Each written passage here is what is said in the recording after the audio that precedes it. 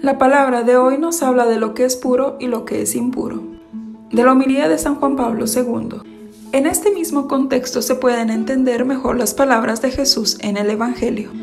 Lo que sale de adentro, eso sí mancha al hombre. Del corazón del hombre salen los malos propósitos, las fornicaciones, robos, homicidios, adulterios, codicias, injusticias, fraudes, desenfreno, envidia, difamación, orgullo, frivolidad.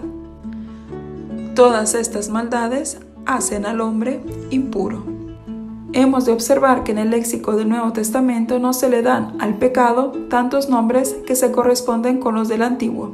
Sobre todo se le llama iniquidad, injusticia, oposición al reino de Dios. También se le llama al pecado error, falta o también deuda, por ejemplo, perdona nuestras deudas, pecados.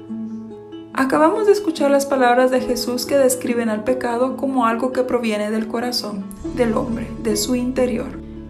Ellas ponen de relieve el carácter esencial del pecado.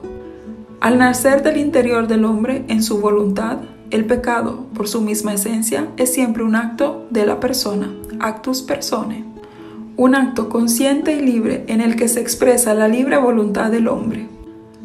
Solamente basándonos en este principio de libertad y por consiguiente en el hecho de la deliberación se puede establecer su valor moral. Solo por esta razón podemos juzgarlo como mal en el sentido moral, así como juzgamos y aprobamos como bien un acto conforme a la norma objetiva de la moral y en definitiva a la voluntad de Dios. Solamente lo que nace de la libre voluntad implica responsabilidad personal. Y solo en ese sentido, un acto consciente y libre del hombre que se oponga a la norma moral, a la voluntad de Dios, a la ley, al mandamiento y en definitiva a la conciencia constituye una culpa. En este sentido individual y personal, la Sagrada Escritura habla del pecado, ya que éste por principio hace referencia a un determinado sujeto, al hombre que es su artífice.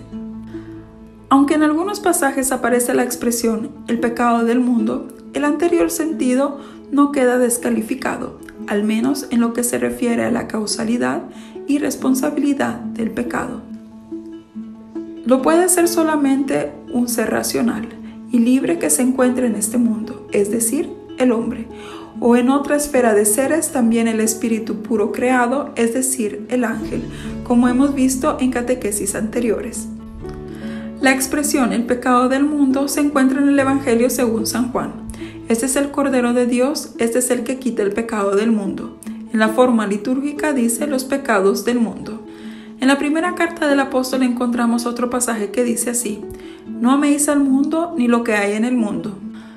Porque lo que hay en el mundo, las pasiones del hombre terreno, y la codicia de los ojos, y la arrogancia del dinero, eso no procede del Padre, sino que procede del mundo.